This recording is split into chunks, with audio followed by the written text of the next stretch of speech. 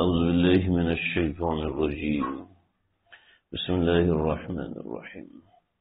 الله نزل أحسن الحديث كتابا متشابها مثاني. تقشعر منه الجلود الذين يخشون ربهم. إلى آخر الآية. سورہ زمر کی آیت نمبر تیئیس ہے. کل ہم اس آیت کو پڑھ چکے ہیں. لیکن تک شعر منہ جلود الذین یخشون ربهم کے حوالے سے چند باتیں اس میں ذکر کرنی ہیں۔ تقشعر منہ جلود الذین یخشون ربهم کہ جن لوگوں کے دل ڈرتے ہیں یعنی جو اپنے پروردگار سے ڈرتے ہیں، تو تقشعر منہ جلود کہ ان کے جسم اللہ کے ڈر سے کانپنے لگتے جب قرآن مجید کی تلاوت ہوتی ہے۔ مظہری نے اس کے حوالے سے کچھ تفصیلات کی ہیں کہ اللہ کی قرآن مجید کی تلاوت سے جسم کانپنے لگتے ہیں، اس کا کیا مطلب ہے؟ چنانچہ ایک واقعہ ذکر کیا ہے حضرت عبداللہ بن عمر کا۔ جب وہ شام گئے تو شام میں ایک شخص کے بارے میں مشہور تھا۔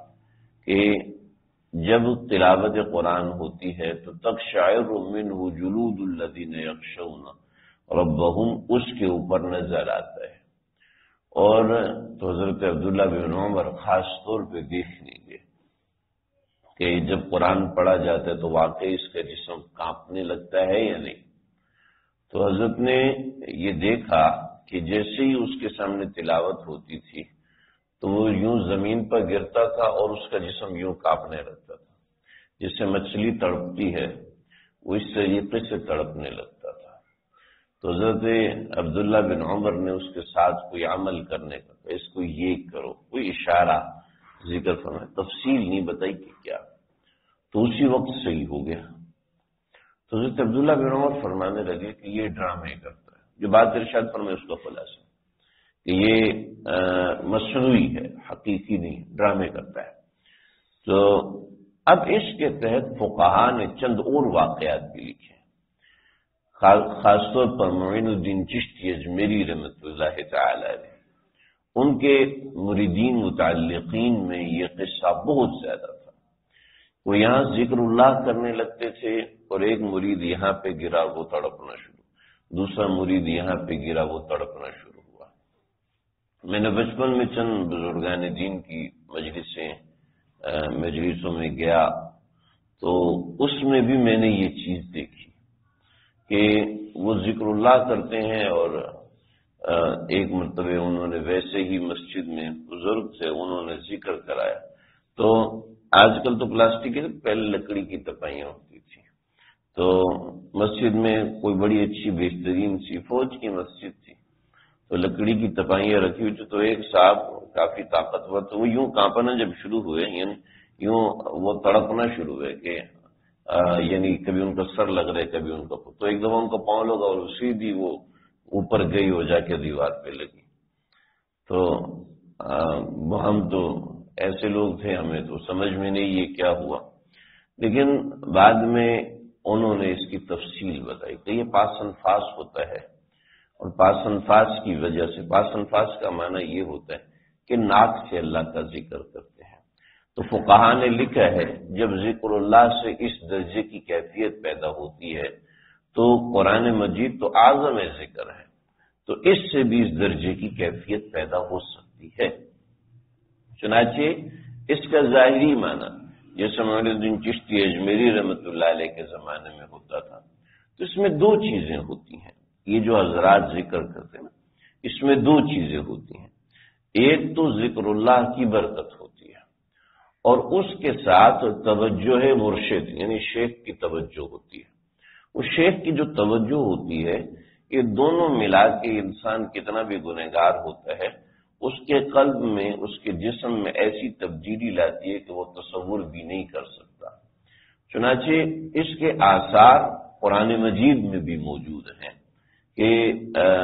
کہ حضرت سلیمان علیہ السلاۃ السلام نے جب ملکہ بلکیس کو دیکھا تو کہا کبھی کون ہے جو اس کا تخت لے کر آئے؟ تو ملکہ بلکیز جب پہنچی، ان کے شہر میں داخل ہوئی۔ تو تو ایک جن کہنے لگا، میں دے کے آؤں گا۔ لیکن وہاں پر جس شخص کو اللہ نے علم دیا تھا ان دہو علم من کتاب، اس کے پاس علم کتاب تھا۔ اس نے کیا کیا؟ اس نے توجہ کیا اور توجہ کے اندر ایسی چیزیں ہوتی ہیں جو عام انسان تصور نہیں کر سکتا۔ ایک مثال، نبی اکرم صلی اللہ علیہ وسلم کے پاس ایک صحابی ہے یا رسول اللہ، آپ اجازت دے بخاری مسلم میں واقعہ موجود ہے۔ یا رسول اللہ، مجھے اجازت دیجیے کہ میرا نفس کا پیٹ نہیں بھر رہا، میں سنا کروں۔ تو آپ نے فرمایا تھوڑی دیر بیٹھو۔ وہ بیٹھ گیا۔ تو محدثین نے لکھا، یہ آپ نے اس کو فوراً نصیحت نہیں فرمائی، یہ تھوڑی دیر بٹھایا تو اس کا معنی توجہ دینا تھا۔ یعنی توجہ ایک چیز ہوتی میں ذکر کرتا ہوں تو تھوڑی دیر بعد آپ نے پوچھا، دیکھو، اگر کوئی شخص آتا ہے اور وہ پوچھتا ہے کہ میں اس بندے کی بہن سے زنا کرنا چاہتا ہوں تو کیا کیا؟ شم سیف اپنی تلوار اس نے نکالی۔ اور کہا کہ میں گردن اڑا دوں گا اس کی۔ اور میں شم تلوار نیچے رکھ اور پھر اس کے بعد پھر میں کوئی کوئی اجازت مانگ لے آئے کہ کہ تمہاری ماں کے ساتھ زنا کرنا ہے، پھر بہن کے ساتھ، پھر بیوی کے ساتھ ہر دفعہ تلوار نکالی ہر مرتبہ آپ نے مشین سیف ہو شم سیف ہو اپنی تلوار اندر ڈال دیں آم کے اندر۔ پھر آپ نے فرمایا کہ جس کے ساتھ تم زنا کی اجازت مانگ رہے ہو، وہ بھی تو کسی کی بہن ہے، کسی کی بیوی ہے یعنی جس عورت کا وہ ذکر کر رہے تھے۔ تو کہنے لگے، نہیں، مجھے اطمینان نہیں ہے۔ پھر آپ نے ان کو اپنے پاس بلایا۔ پھر ان کے سینے پہ آپ نے یوں ہاتھ رکھا۔ پھر اللہ مطہر قلب حسن فرض اے اللہ، سینے پہ ہاتھ رکھ۔ اور یہ دعا دی، اے اللہ، اس کے دل کو صاف کر دے گناہوں کے تقاضوں سے۔ وہ حسن اور اس کی شرمگاہ کو اس سے محفوظ کر دے۔ چنانچہ وہ صحابی رسول فرماتے ہیں، مرتے دم تک دوبارہ اس گناہ کا وسوسہ بھی نہیں آیا۔ بعض چیزیں ایسی ہوتی ہیں جن کا امالہ ہوتا ہے۔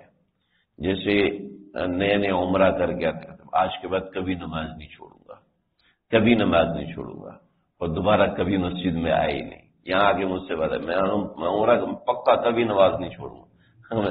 کبھی مسجد میں نظر ہی نہیں ہے۔ میں کبھی اس کی اصلاح کرو ایسا نہیں ہوتا تم عمرہ کر کے آگے ہو تو ٹھیک ہو جائے۔ کہتے نہیں نہیں، ابھی آپ دیکھنا میں کیسے ہوں گا۔ اور نہیں، تو بعض دفعہ امالہ ہو جاتا ہے۔ امالہ کا مطلب ہے وقتی طور پر گناہ کا تقاضا ختم ہو جاتا ہے۔ لیکن بعض مرتبہ ازالہ ہو جاتا ہے۔ ازالے کا معنی یہ تقاضا ہی ختم ہو جاتا ہے۔ لیکن تقاضا ختم ہونا جیسے اس صحابی کا تقاضا ختم ہو گیا۔ تو بعض دفعہ ایسا ہوتا ہے کہ وقتی تقاضا جڑ سے ختم ہو جاتا ہے۔ یہ قرآن کے الفاظ کی برکت ہوتی ہے۔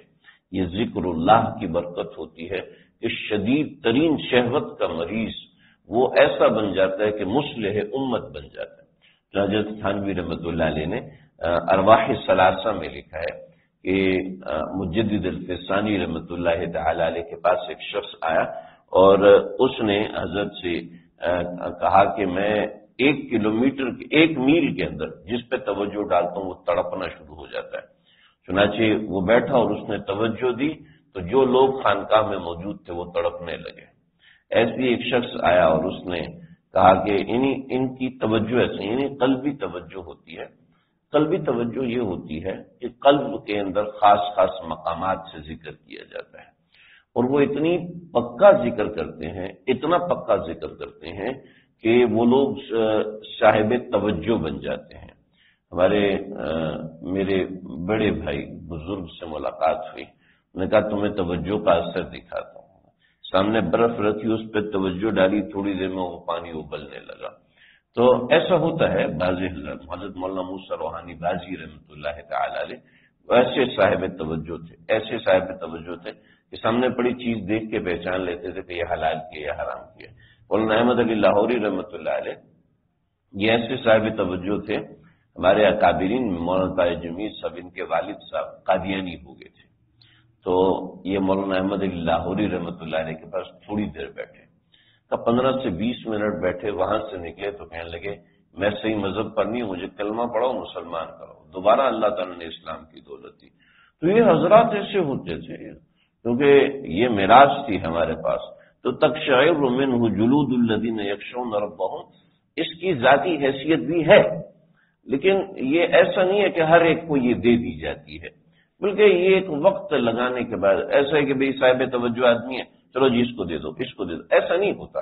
یہ ایک ہوتا ہے، طلب ہوتی ہے۔ چنانچہ اللہ کے نبی ابو طالب کو اسلام قبول نہیں کروا سکے۔ لیکن دور بیٹھے ہوئے وحشی نے دور بیٹھے ہوئے نجاشی نے اسلام قبول کر لیا دور بیٹھے ہوئے۔ تو یہ ایسا نہیں ہے کہ باہر بندے کے اختیار میں ہوتا ہے۔ توجہ میں اللہ بہت کچھ چیزیں دیتے ہیں جس کو ہم بعض دفعہ کرامت کی شکل شکل میں کہہ دیتے ہیں۔ بعض دفعہ آپ صلی اللہ علیہ وسلم کے معجزات کی شکل میں یہ چیز سامنے کہ آپ نے چاند کی طرف اشارہ کیا اشارہ کیوں کیا؟ اشارہ اس لیے کہ ایک توجہ، انگلی کی توجہ ایسی تھی کہ چاند دو ٹکڑے ہوا۔ لیکن ابو طالب نے وہ توجہ حاصل نہیں کی، ایمان سے رہ گئے۔ یعنی انگلی کی توجہ اتنی بڑی تھی۔ تو یہ ہے تک شاعر من جلود الدین ایک اور میں بات بتا رہا مجدد الفسانی رحمۃ اللہ علیہ کے پاس ایک بندہ آیا اور کہا کہ حضرت کچھ پیسے دیں، فقیر کا نہیں ملیں گے، جاؤ۔ کہ حضرت اگر پیسے نہیں دو گے تو زلزلہ آ جائے گا۔ میری توجہ ایسے کام کرتی ہے۔ اچھا کر کے دکھاؤ ذرا۔ اس نے چھلانگ لگائی تو جس جگہ جب اس کے پاؤں زمین پہ پڑے تو زلزلہ آ گیا، پوری خانقاہ لرز اٹھی۔ تو کہنے لگے اچھا اچھا اچھا یہ مسواک کے نیچے پیسے رکھے اٹھا لو۔ تو جب اس نے مسواک اٹھائی تو پھر زلزلہ آ گیا۔ کہنے لگا، حضرت، یہ کیا؟ کہنے لگے، میاں، اگر صرف پاؤں اٹھانے سے زلزلہ آ سکتے تو میری مسواک اٹھنے سے بھی زلزلہ آ سکتا ہے یہ کوئی کمال کی بات نہیں ہے۔ یہ توجہ میں اتنی طاقت ہونا کمال کی بات نہیں ہوتی، اصل کمال کی بات سنت نبوی ہے۔ میں بات سمجھاتے سمجھے تو تھوڑا دور نکل گیا۔ چنانچہ فقہ نے یہاں لکھا ہے کہ تک شاعر من جلود الدین یکشون ربہم۔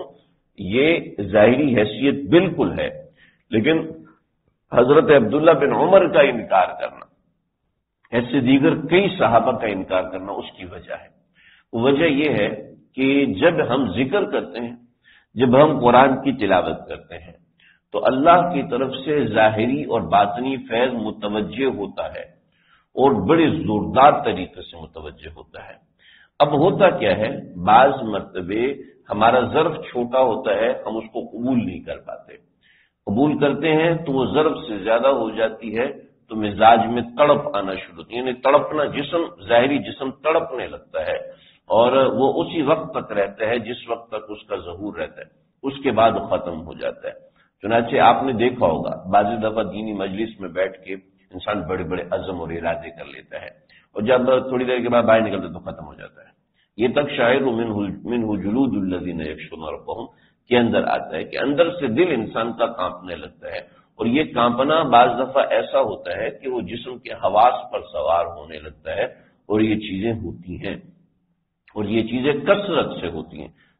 یہ ہماری اسلام آباد کے قریب ایک علاقہ ہے، ہمارے اکابرین میں سے حضرت ہیں اور سید عدنان کا خیل صاحب کے شیخ ہیں اور اس کے علاوہ دیگر کربوگا شریف۔ کربوگا شریف، وہاں حضرات بیٹھتے ہیں اور اس نوعیت کی بڑی بڑی چیزیں وہاں سامنے آتی ہیں۔ اور ایسے ہی دیگر بہت سی جگہوں پر ہے۔ لیکن آج کل اکابرین، ہمارے اکابرین نے ان چیزوں پر توجہ دینا بند کر دی۔ وجہ اس کی یہ ہے کہ اس کے ذریعے سے، کیونکہ یہ ایسی چیز ہے جو کوئی بھی حاصل کر سکتا ہے۔ آپ کچھ ایسا ذکر کریں، آپ کو بھی یہ چیز حاصل چالیس دن ذکر کریں، پینتالیس دن ذکر کریں، یہ چیز آنے لگے گی۔ لیکن اس کے بعد عقائد باطلہ آنے لگتے ہیں، جس سے نقصان ہونے لگتا ہے۔ پہلے لوگ بڑی بڑی چیزیں دیکھتے تھے۔ چنانچہ روایتوں میں آتا ہے کہ دجال ایک بندے کے دو ٹکڑے کرے گا وہ دو ٹکڑے کرنے کے بعد دوبارہ زندہ کرے گا۔ کہا، دیکھو، میں نے تمہیں کاٹ دیا میں نے تمہیں دوبارہ زندہ کیا اب تم میرے اوپر ایمان لاتے ہو کہے گا، اب تو میں پکا ہو گیا ہوں کہ تو پکا دجال ہے۔ حالانکہ اس کو دیکھ کے کئی مسلمان کافر ہو جائیں گے۔ لیکن وہ وہ مسلمان خود مسلمان رہے گا جو کہ لوگوں کے سامنے مر کے زندہ ہوا ہے۔ تو آج کل کے عقیدے کمزور ہیں۔ اگر کسی کو اتنا سا بتا نا کل تم نے یہ کھایا تھا، وہ یہ تو ایسا بزرگ ہے اور ایسا ہو، پتہ نہیں اس نے کسی عامل سے رابطہ کیا ہوا ہے، موکلین اس کے پاس ہے جنات نے اس کو بتا دیا، بس یہ جیبیں بھرنے کا کام کیا ہوا ہے۔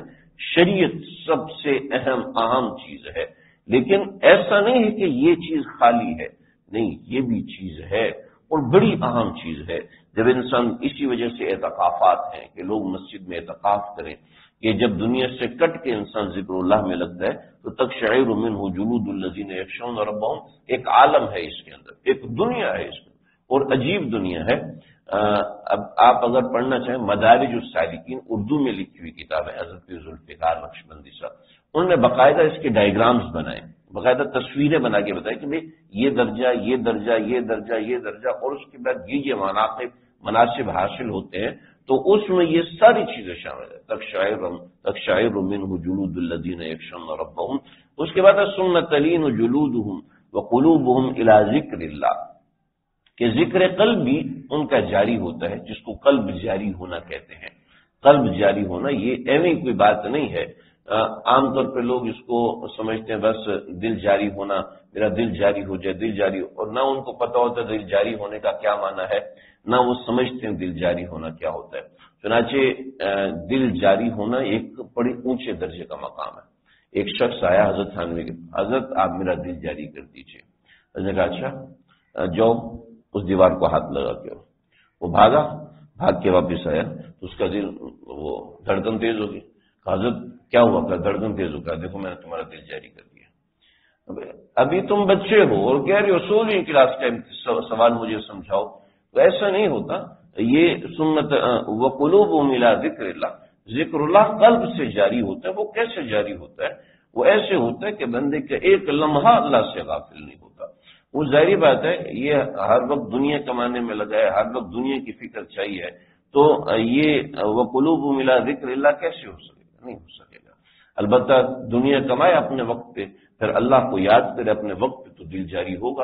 اور ایسے جاری ہوگا، اس کو وقوف قلبی کہتے ہیں کل بھی میں نے ذکر کیا۔ وقوف قلبی کہتے ہیں۔